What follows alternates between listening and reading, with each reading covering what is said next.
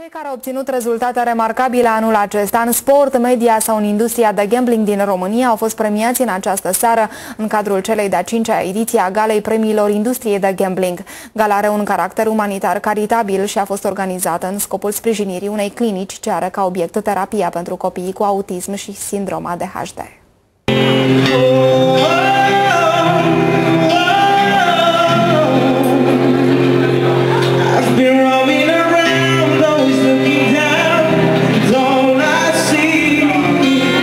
se află la cea de-a cincea ediție și s-a desfășurat într-un complex de 5 stele din București. În cadrul programului din acest an au fost acordate 12 premii speciale pentru industria gamblingului. În primul rând o stimulare și o recunoaștere a meritelor care au în spate mult efort și multă muncă din partea multor uh, actori. Așa că a participa la o astfel de gală înseamnă pentru mine um, faptul că există oameni care ne urmăresc activitatea, înseamnă pentru mine că există oameni care performează mult peste medie și mai mult decât atât, există oameni care se bucură de performanțele altora. Aici sunt premii adevărate, sunt premii pentru sport, uh, sunt premii pentru oameni care s-au gândit să ducă lucrurile mai departe, chiar să se implice și care își folosesc neuronii, cum îmi place să spun.